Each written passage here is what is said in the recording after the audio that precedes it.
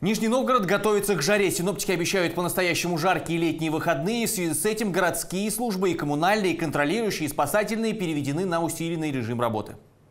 Рейды по пляжам, они у нас проводятся ежегодно и в особо теплые периоды, когда начинается пляжный купальный сезон. Это у нас проводится ежедневно. Матросы-спасатели работают на, в рабочие дни по одному, будние и праздничные дни по двое. Сейчас вот более-менее такой народ стал такой цивилизованный, как после ремонта. Здесь вообще просто стало очень хорошо.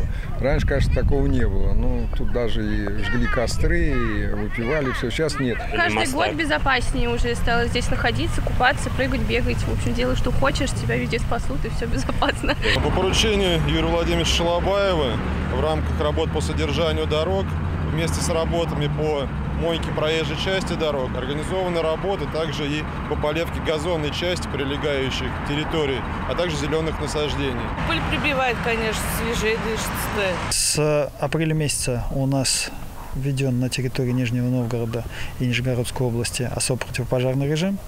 Мы выезжаем в лес ежедневно на патрулирование территории и особенно выходные дни. Сейчас э, за разведение костров или приготовление пищи на землях лесного фонда штраф составляет от 10 до 20 тысяч рублей. Люди, конечно, в шоке.